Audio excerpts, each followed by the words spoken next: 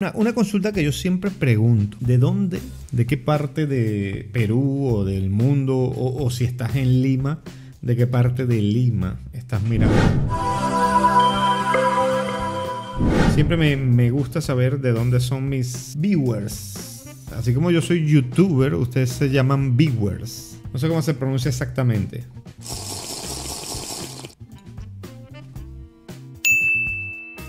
San Isidro, Lima, Pituca. ¿eh? Tenemos Pitucasa.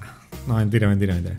Pituca es una palabra ofensiva o, o no. Yo, creo- yo creo que los pitucos, no sé, corrígeme, tú que vives por ahí, si la palabra pituco es ofensiva o no. O sea, yo la digo sin ánimos de ofender, simplemente digo, vives en San Isidro, eres pituca.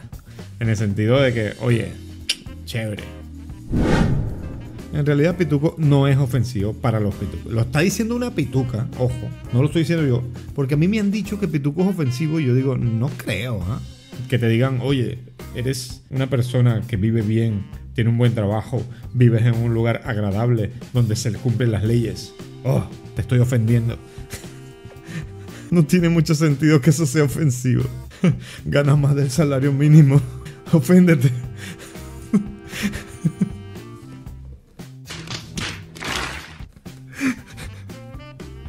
Eso sí me da risa.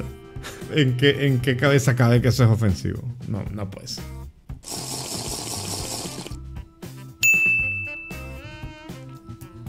Dijiste promedio, no dijiste mínimo. ¿Qué es promedio para un pituco? A ver, me, me- me causa interés. No, no- no la vayan a robar, amigos, cuidado. Ojo. Sí, el promedio es 1500 soles. Ok, ¿ves?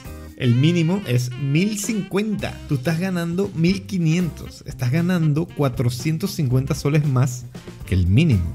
Así que es más del mínimo. Tengo entendido que el, que el mínimo es 1050, ¿no? A ver.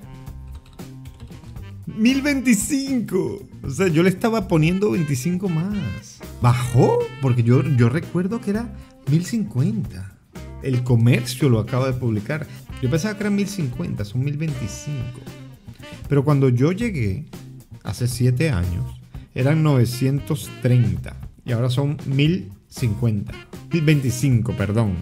No sé por qué digo 1050, no, no sé, eran, antes eran 1050, yo, yo tengo ese número ahí y es 1025.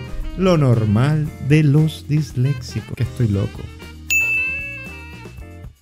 Me gustaría ir a Chancay. Chancay va a convertirse en un lugar muy próspero, ¿ah?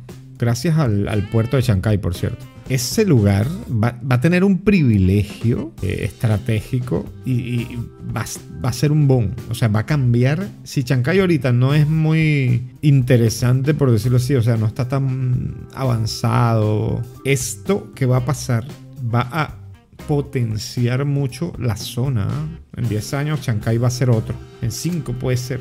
O, o tú ya estás viendo cambios, Daniel. Cuéntanos un poquito de Chancay.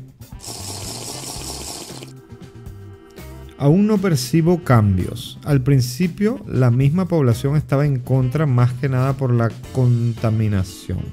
Espero que pronto haya más desarrollo, como dices. Sí va a haber, sí va a haber. Mira, cuando tú construyes un colegio, por ejemplo, hay un proceso de escoger el lugar donde va a estar el colegio, acondicionarlo, o sea, aplanarlo, hacerle los desagües, toda la nota, construir la base, construir las columnas, construir las paredes, construir las ventanas, ta, ta, ta, pintar, modificar, planificar todo, por supuesto, aperturar el colegio y ahí recién es que se ven los cambios.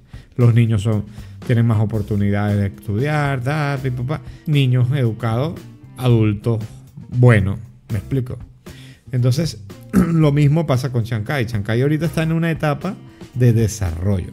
Va a empezar sus operaciones porque la primera etapa del puerto de Chancay va a estar culminada finales de este año. Ahí recién van a empezar a tener algunos beneficios porque va a empezar a llegar mercancía y van a conseguir productos más baratos. Al conseguir productos más baratos, algunos pobladores que son gente de negocios van a empezar a comprar y a revender.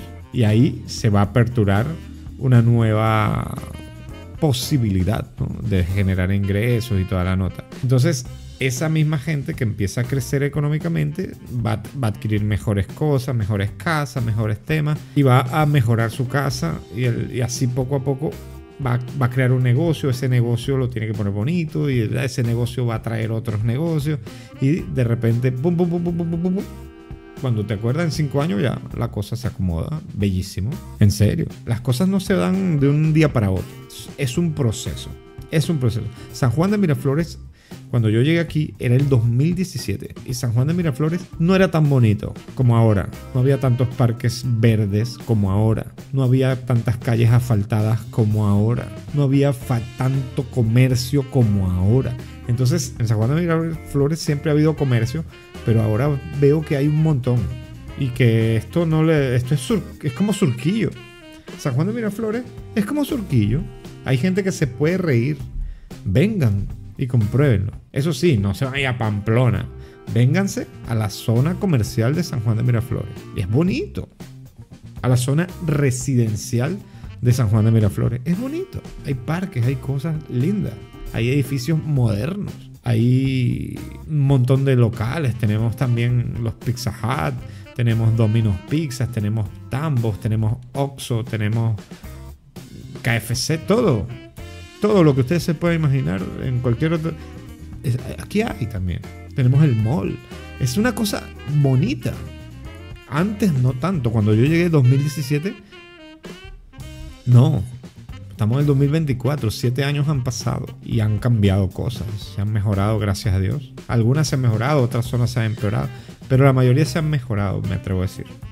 Eso, ¿qué opinas sobre Lima? ¿Será eh, la sede de los Juegos Panamericanos 2027. Me gusta que se pongan las pilas y acomoden todo. Eso es lo bueno de los panamericanos, porque acomodan todo, toda la ciudad la acomodan, la ponen bella, lo que hay, donde hay un hueco ya no hay hueco. Es, es brutal que los panamericanos producen un montón de beneficios porque acomodan la ciudad, generan ingresos porque la gente es pila y empieza a vender productos Exacto, traen inversión. La gente de aquí invierte y gana dinero, se beneficia porque en las puertas del, del, estadio, de donde sea que hagan los, los deportes, va a estar ahí vendiendo mercancía, productos, comida, bebidas, un montón de cosas, ¿no? Y adentro también va a haber tiendas y tal. Es, es plata por donde lo mires. Y es embellecimiento de la ciudad y renombre para la, para la ciudad también. Siempre y cuando hagan las cosas bien. Si la cagan va a ser como una raya, ¿no? Tienen que tratar de eh, crear unos panamericanos estupendos. Yo sé que el Perú se puede, porque los... Yo no sé si fueron los panamericanos del año antes pasado. No me recuerdo. Sé que había unos juegos acá y quedó espectacular el todo, ¿no? La temática, todo. Se gasta mucho, pero es un gasto que, que vale la pena porque la ciudad queda em, por lo menos más bonita.